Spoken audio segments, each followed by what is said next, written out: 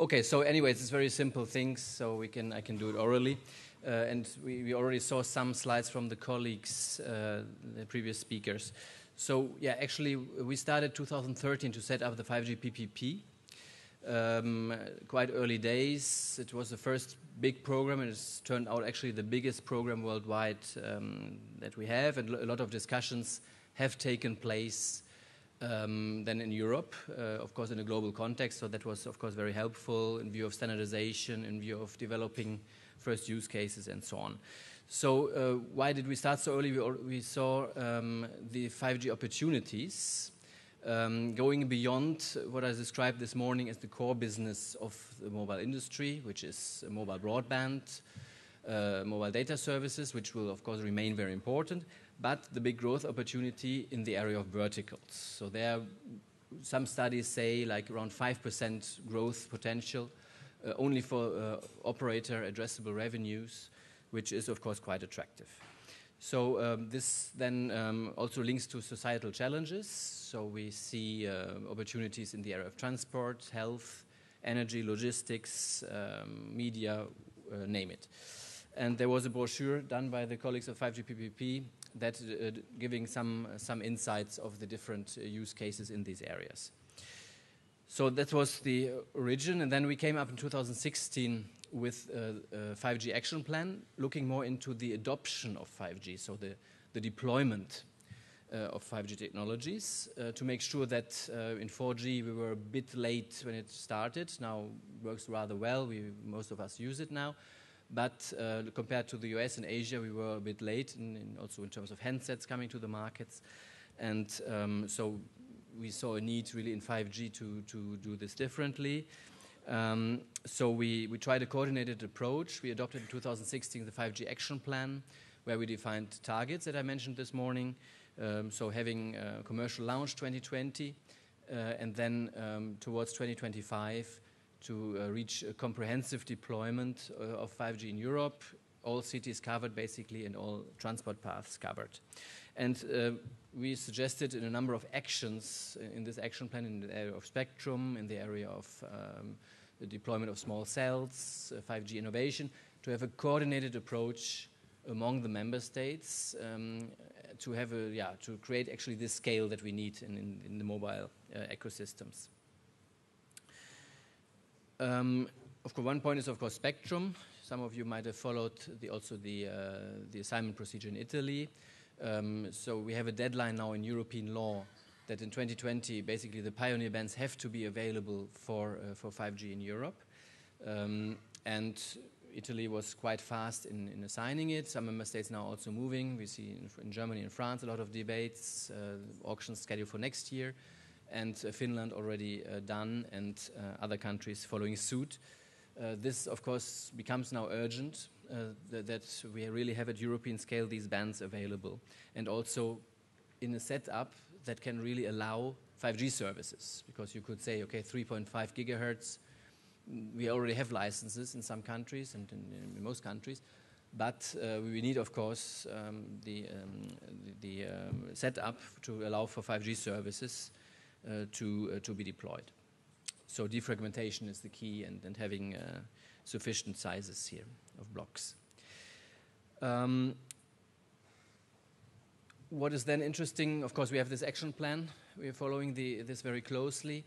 Uh, as mentioned um, uh, by Maurizio, we have the uh, European 5G Observatory that has been launched. You can have a look, 5gobservatory.eu, where you see actually from the public side, so where are we in the preparation, national 5G strategies, uh, spectrum assignment, so is, are the framework conditions in place in the different countries?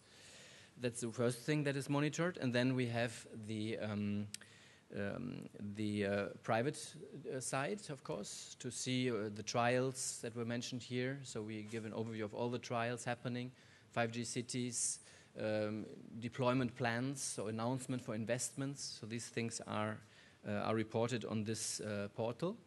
And we also have every three months a report coming out giving an executive summary assessment of where we stand in Europe. Uh, compared also to, to, of course, global developments. So where do we stand here?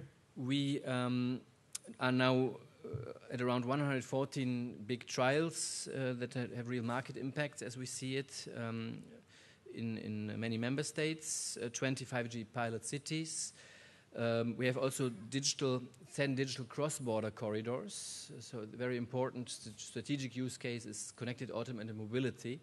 And some of you might have seen we recently launched the first three projects on these corridors that have been agreed among member states to, uh, to advance uh, deployment for trials at, at cross-border areas and then uh, leading to uh, hopefully deployment of these um, transport paths. That is one of the targets of the action plan, as I mentioned before. Um, so we have now 10 of these corridors that have been agreed. One of them is um, uh, managed actually by, by uh, Italian um, institution, the uh, Bruno Kessler Foundation. Um, and it's the corridor uh, from Munich to Bologna, so the Brenner paths. Um, so this is one of the, the big projects that has been launched. Uh, other two projects are looking at the Metz-Merzig-Luxembourg corridor, and uh, one project is looking at a number of corridors, uh, especially Portugal and Spain.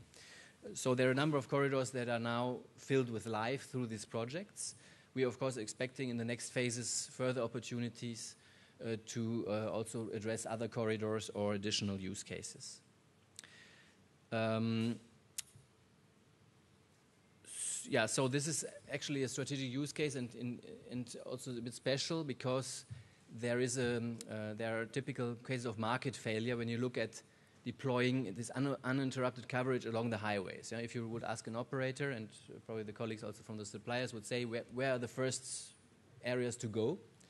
You would probably say we go to the cities. We have smart cities, we, we offer mobile broadband in cities. We might also think about connecting households with 5G, a specific use case. But uh, no one will tell you, okay, we will deploy all the highways in Europe uninterrupted.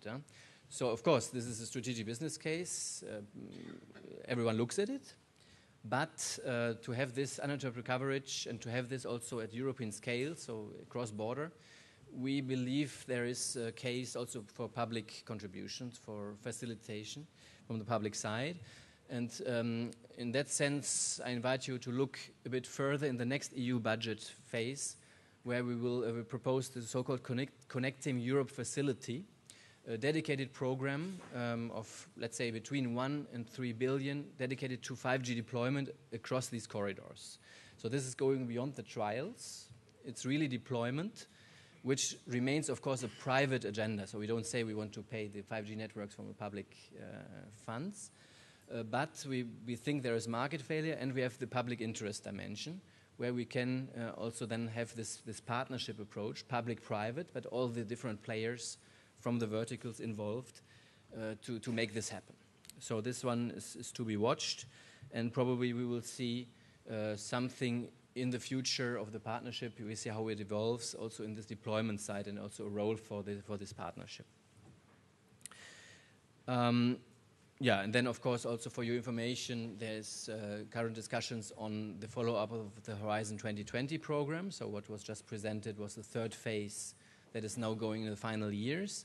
And then from 2021, we will have a new pr uh, program called Horizon Europe, uh, where also, of course, we have uh, in, in, the area of 5G and smart networks, there will be opportunities. And this is uh, currently to be discussed with the Council and the Parliament, so this is also to be followed.